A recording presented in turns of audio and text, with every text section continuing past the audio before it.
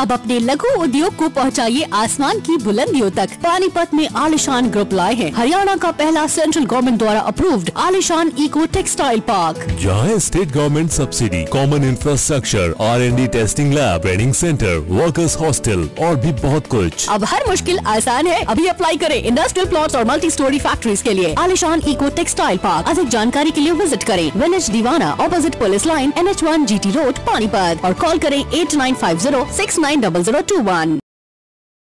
शहर की हर एक खबर को सबसे पहले देखने के लिए वॉइस ऑफ़ पानीपत के फेसबुक पेज को लाइक शेयर और फॉलो करें साथ ही अगर यूट्यूब पर देख रहे हैं तो चैनल को सब्सक्राइब करें और बेल आइकन तो दबाना बिल्कुल भी ना भूलें कि इस प्रकार की चलाकी जो निगम में लोग करके साफ़ सुथरा बने रहने का ढोंग जो कर रहे हैं उनका भी इसी प्रकार की मीटिंगों में ही आगे पर्दाफाश होता है। मैं पूरे समय बैठ कर वाच कर रहा था कि हर आदमी की टारगेट पीछे बैठे लोग। आप लोग काम करते हैं कि नहीं करते हैं? अगर आप कमिश्नर हैं तो आपको अपना काम लेने का तरीका आपने कोई बनाया कि नहीं बनाया? हमारी मेयर निगम की सर्वोच्च है। उसके पार्षद, उसकी टीम। है उसका पार्षद ये शिकायत करता है कि आपका अधिकारी फ़ोन नहीं उठा पा रहा है, उसका जवाब नहीं दे पा रहा है। एक पार्षद यहाँ से बैठ के बात कर रहा है, दूसरा ऊपर से समोसे खा रहा है। पार्षद को वहाँ से ये बोलना पड़े तो आपकी रिस्पॉन्सिबिलिटी क्या है? आप इतना भी नहीं सिखाएँगे इनको।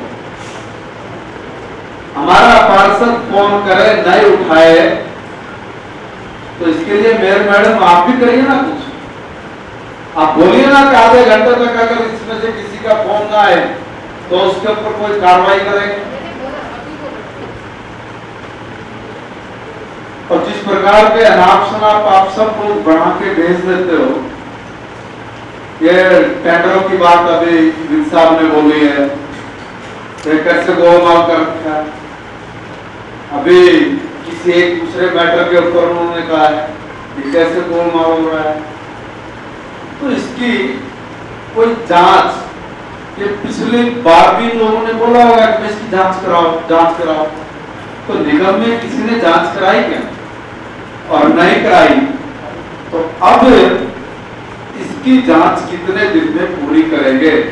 एक बात। इसमें कौन कौन अधिकारी दोषी है?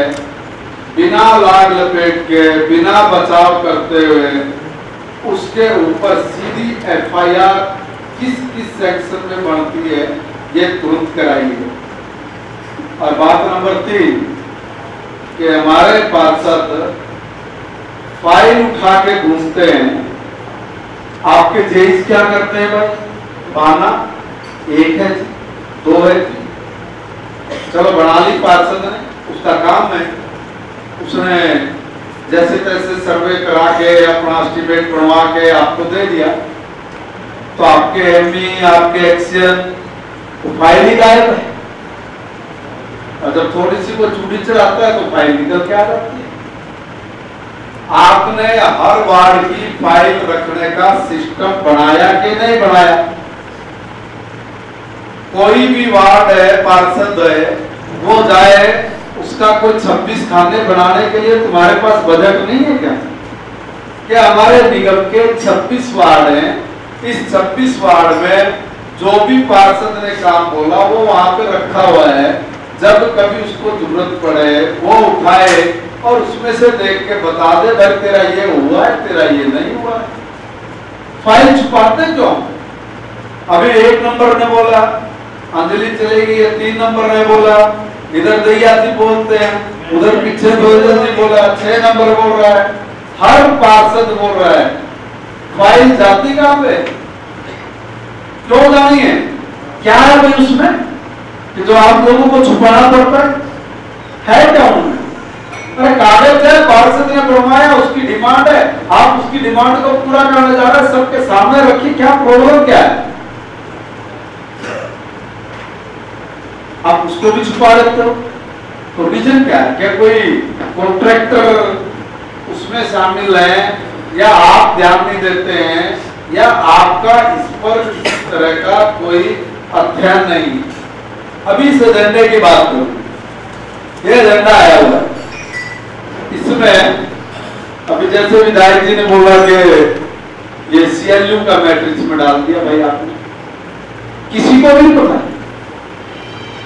अंधेर दी गजब ही हो गया ये किसने डाला?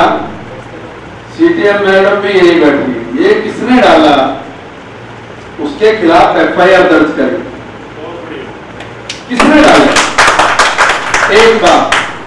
दूसरी बात ये, अगर ये पॉलिसी में आता है तो भी एफ़ एफआईआर बढ़ती है। आपको अपने नियम ही नहीं पता क्या? आपको इतना ज्ञान नहीं कि हमें इसको एजेंडे में रखना है कि नहीं रखना है। अगर ये पॉलिसी में आता है गवर्नमेंट की कोई पॉलिसी है तो आप उसका जवाब देने में सक्षम क्यों नहीं क्यों नहीं आप इसमें सक्षम और अगर नहीं है तो फिर यहाँ क्या कर रहे हैं आप लोग? तीसरा कि जब इस तरह के एजेंडे ये बने ये काम का एजेंडा बना हुआ है मैंने इसको एक एक करके एक नज़र में पढ़ लिया। एक नज़र में ही पढ़ता चला गया मैं ध्यान में आ ये ये, कुछ एरिए ध्यान में आ गए सब समझ में आ गया। आपके किसी एक्शन ने, किसी दूसरे अधिकारी ने एक भी जवाब ठीक नहीं दिया। एक भी जवाब। ना आपको पता, ना आपकी टीम को पता। ठीक है जी, ये कर रहे हैं जी, इस पे ये होगा जी, या ये हुआ है। अरे भाई, आपने अध्ययन किया कि नहीं किया? ये एजेंडा है। ये एजेंडा है ना? तो इसके ऊपर एक एक पॉइंट पे आपने तैयारी की, नहीं की?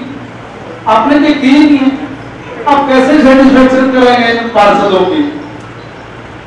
आपकी कोई तैयारी नहीं है।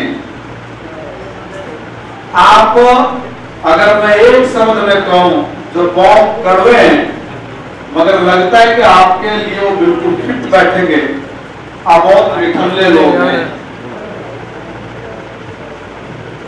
हम लोगों को भुला के या हम लोग आए तो अच्छा हो रहा है कि हमें पता लग गया। इस तरह से भी एक मज़ाक यहाँ पे चलता है। अब सीधा सीधा ध्यान करिए। मेयर मैडम, आपको अपनी ताकत जरा नियम में पढ़ लीजिए। कौन बोलेगा? किसकी भी साथ बोलने की। कौन टोकेगा आपको? छब्बीस पार्षद आपके साथ बैठे हैं। इनकी हिम्मत क्या है? कि कोई भी काम इग्नोर करे या कोई भी काम आपकी परमिशन के बिना किसी एजेंडे में डाले या कोई काम करके दिखाए। आप स्ट्रॉन्ग बनिए। दो विधायक आपके साथ हैं, सांसद का आशीर्वाद और प्यार आपके साथ है। 26 के 26 पार्षद आपके सहयोगी हैं आपके बड़े वो भी आपके सिर पे हाथ रख रहे हैं। मगर ईमानदारी से निगम चले, ये रिस्पॉन्सिबिलिटी आपकी भी इसलिए सुनना क्या? इनके पीछे काय को पड़ना है कि सर ये करो, वो करो। ये आपकी, आपका राइट है भाई। आप बुलाइए इनको। बुला के बताइए ये करके लेकर आइए बस। आदेशात्मक भाषा का उपयोग मस्ट है। किसी को कोई बात कड़वी लगी हो तो देखिए, मैं बहुत अपने काम से, काम रखता हूँ। मगर आज जैसे पार्षदों की मैं भी पहली बार मीटिंग में आया हूँ तो जिस प्रकार पार्षदों का जो सवाल था और उसका जवाब देने में जो अधिकारी सक्षम नहीं हो पाए, किसी भी एक बात का उत्तर नहीं दे पाए तो उसके आधार पर आप क्या कहेंगे? यही शब्द बनता है।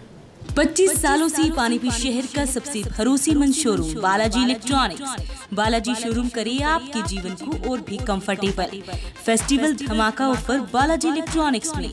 बत्तीस इंची स्मार्ट एलईडी केवल बारह हज़ार नौ सौ नब्बे रूपए में। साथ ही सभी प्रोडक्ट पर आकर्षक ऑफ़र ज़ीरो परसेंट ब्याज और आसान किस्तों में।